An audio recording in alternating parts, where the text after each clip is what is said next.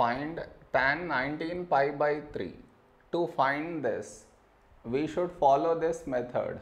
See. In the denominator we have 3. In the numerator 19. Now we should check 19 is close to which multiple of 3? What I mean is 19. Now here you write multiples of 3 that is 18 and 21. Now 19 is close to which number? This is close to 18. So 19 now should be written as 18 plus 1. So this will become tan. In place of 19, now we write 18 plus 1 pi by 3. This is your step 1. Next, tan. Now you should open the brackets. We get 18 pi plus 1 pi by 3. Now tan over here we should split the denominator in this way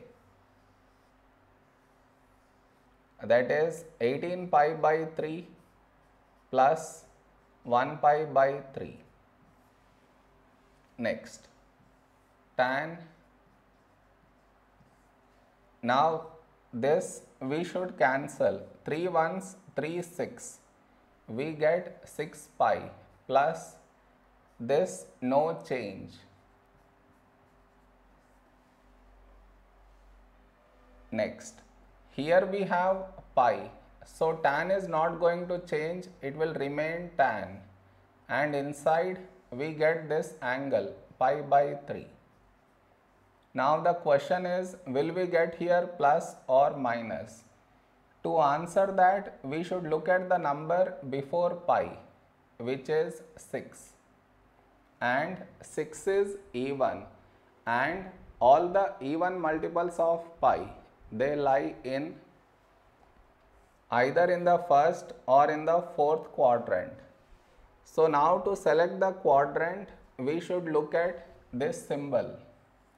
Here we have plus that means angle lies in the first quadrant and in the first quadrant tan is positive. So we should put plus. So plus tan pi by 3 is root 3. This is our answer.